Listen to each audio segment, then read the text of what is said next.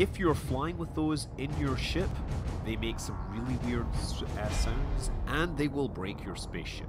So carrying them for any great distance is kinda dangerous, but people have been doing that.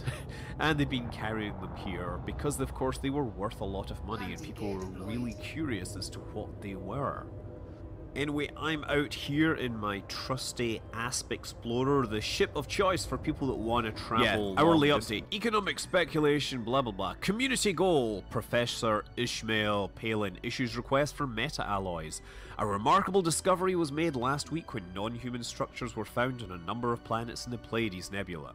These barnacles, as the Gar galactic community has christened them, produce a material known Professor as Professor wants to investigate these things, and the only way to uh, get them is to find these alien life forms, shoot them, and you know take the harvested meta alloys back.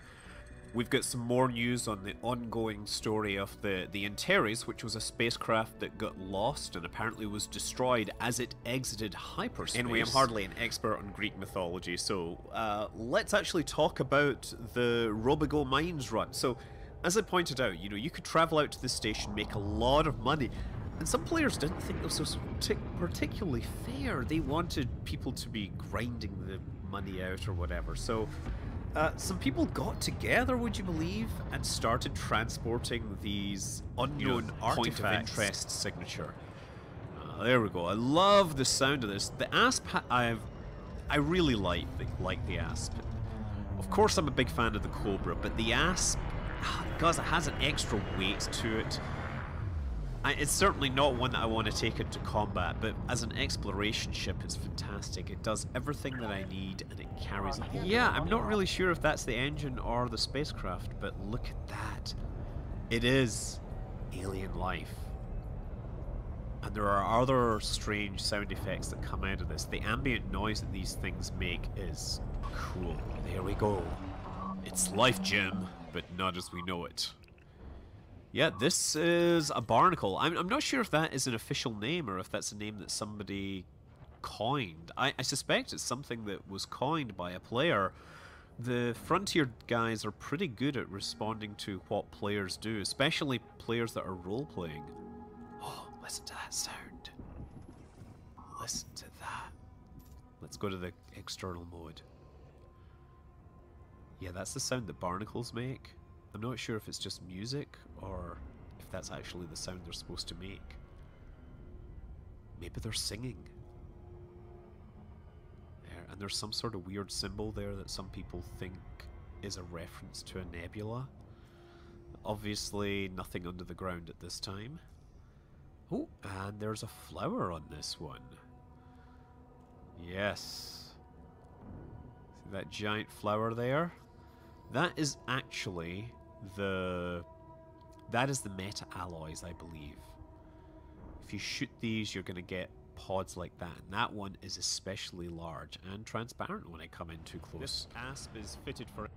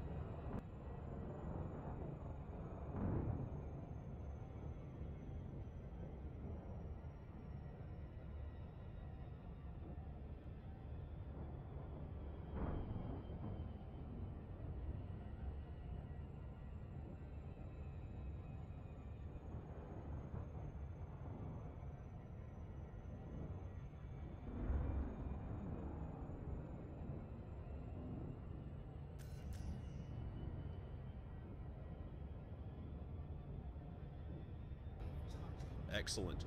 We're just going to try and get over there as quickly as possible.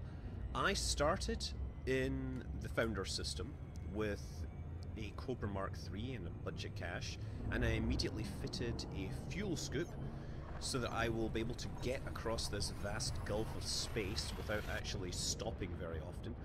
I have switched it into single player mode because there does appear to be a lot of people in the system. There might be some stability. I'm hoping they fix that, but it just in case something happens, I don't want to be dropping. I would want to be you know dropping out in the middle of a video because that's always problematic. Wow, this is a small bright star. It's a white dwarf. Sweet. Did not